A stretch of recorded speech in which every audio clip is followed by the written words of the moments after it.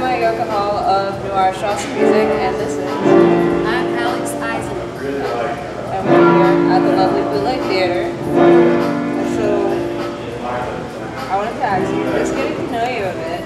You're from Jersey originally. Where in Jersey are you from? Um, I was born in West New Jersey, and then my family and I lived in Alpine. So I don't remember any of it, but I don't know. Like, that's where we lived. A lot of people from Jersey are familiar with this story. Otherwise, I don't know. I really don't know either. I should know more. Um, I have family still in, um, in Alpine. I think I have some family in Teaneck, I'm not sure. But um, yeah. So, since you're not familiar with Jersey, then I have wanted to ask, so like, if you had ever considered the East Coast as the, other than if you ever considered say, making a name for yourself in the music scene in, on the East Coast or anything, but then you're not familiar with the East Coast, are you? No, but fortunately,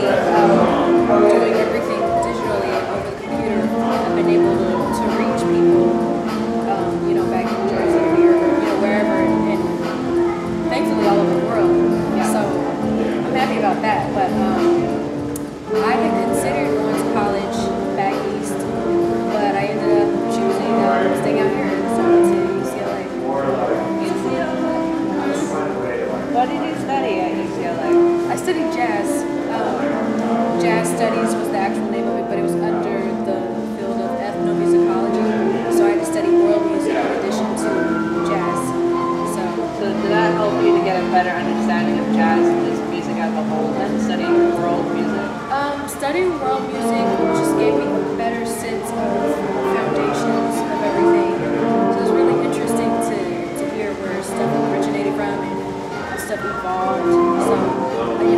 A jazz stemming from, you know, back to Africa.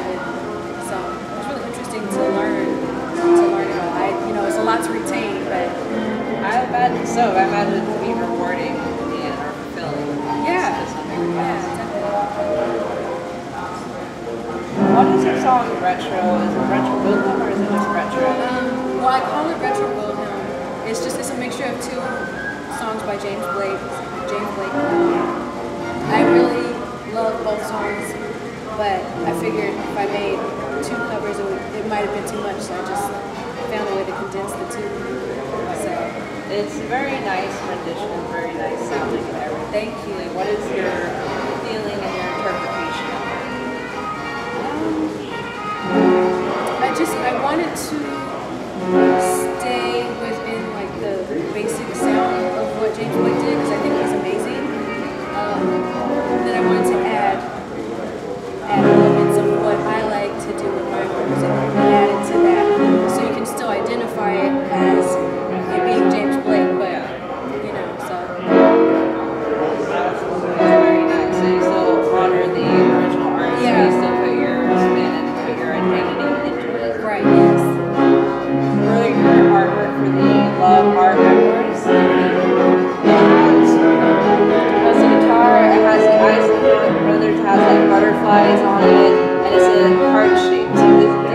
jovem.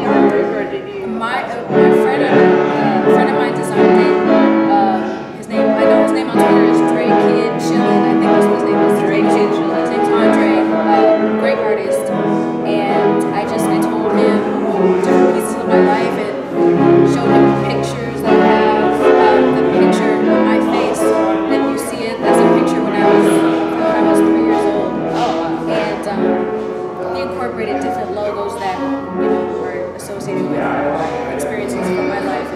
There's actually a UCLA, the UCLA logo, but it's kind of it's kind of hidden, but Yeah. it's there. Uh, same thing for you know the Isley Brothers logo. Um, there's a saxophone that's representing the jazz part of, Right, I of was my trying art. to like look through and piece out the different Yeah. elements inside it. It's very complicated and beautiful, and so I, you can identify.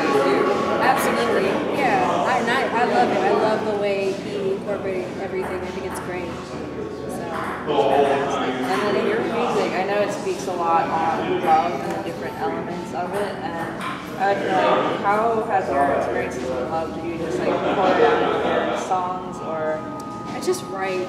I just write. Um, I try to just be as vulnerable as possible, just be as, as candid and as honest as possible.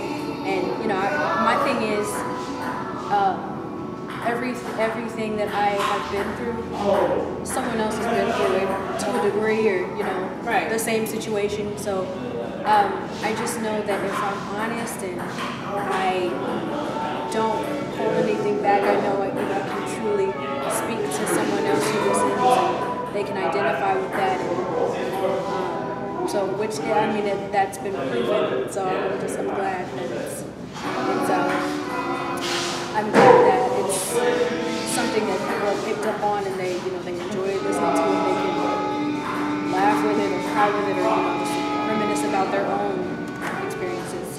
Right, I completely understand that with your music. I mean, love is a very tricky and very weird thing, and people feel it in different ways. So it's great to see how like you feel it and express it to the world, so the world can latch onto it and see how to help them. Yeah. Love situations, as complicated as it may be. And so, for a random question, what is your favorite holiday?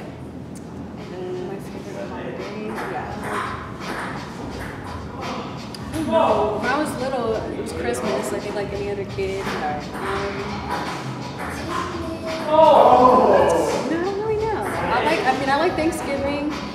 I like any kind of holiday where family can really get together, as opposed to like a Valentine's Day. I like Valentine's Day too. Right. I like St. Patrick's Day too, but I like the more family holidays. I feel like you're just such a loving person that that's like Thanksgiving would be it's Thanksgiving's always so filled with love because you're around the people that you care about and you're close to. You're just such a loving person. Thank you. Yeah, I, I really like just being around family Yes, and just and being thankful for all of that, you know, because I truly am. So I, you know, I like I like where people can, you know, family can come together. Either today, even today, like Memorial Day.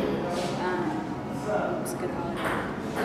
Oh. Yeah. It's sad, but uh, we're still grateful for Absolutely. everything. And I think I think holidays like like this one, I think the um, the point of it can sometimes get a little blurry. But um,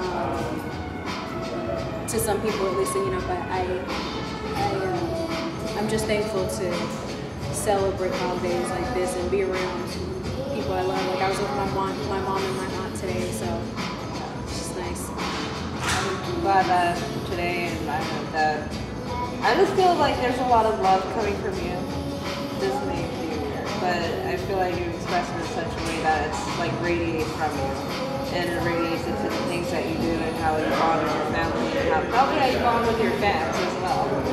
And I thank you for being that person. I hope this is not weird.